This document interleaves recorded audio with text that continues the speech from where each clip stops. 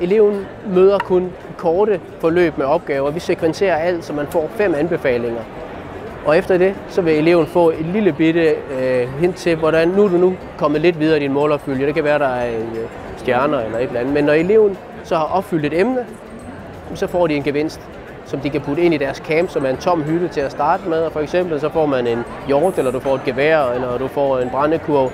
Og så efterhånden så eleven kan følge, at de har ud, eller nået en masse mål, og det kan de se inde i deres hytte, så den fylder de op. Og det er ting, de kender fra almindelig spilverden.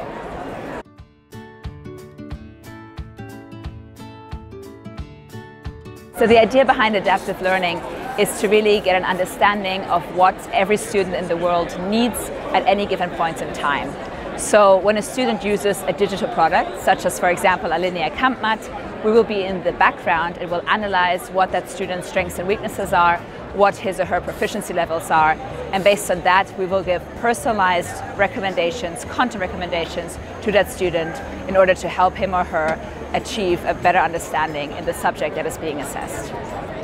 It's definitely been a new experience for me, being able to so effectively communicate with a team who knows what they're doing and has been able to demonstrate that from the very beginning.